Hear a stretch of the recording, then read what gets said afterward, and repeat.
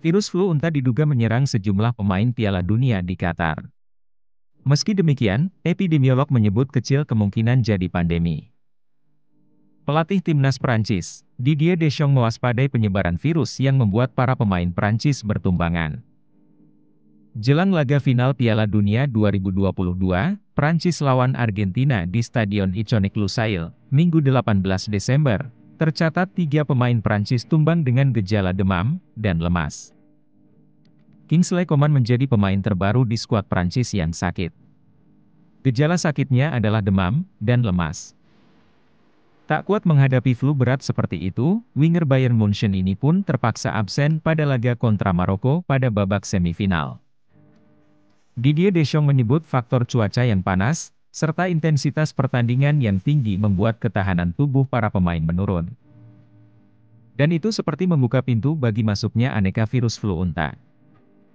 Penelitian yang diterbitkan jurnal New Microbes and New Infections menyebut ilmuwan telah mengidentifikasi flu unta sebagai risiko infeksi yang muncul dari MERS.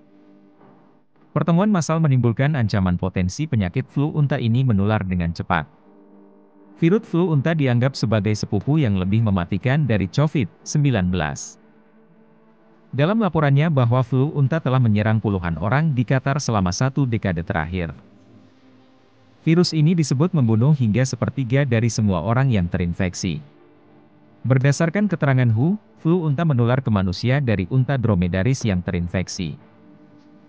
Flu unta telah diidentifikasi di beberapa negara di Timur Tengah, Afrika, dan Asia Selatan.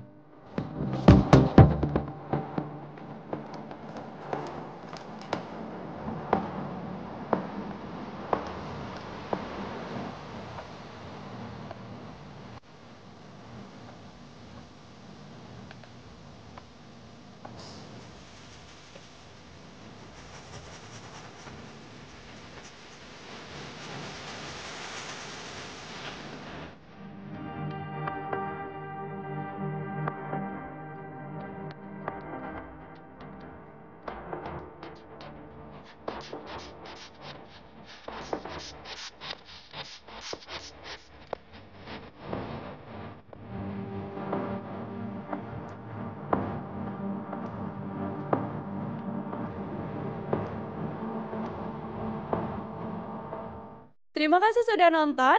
Jangan lupa like, subscribe, dan share ya.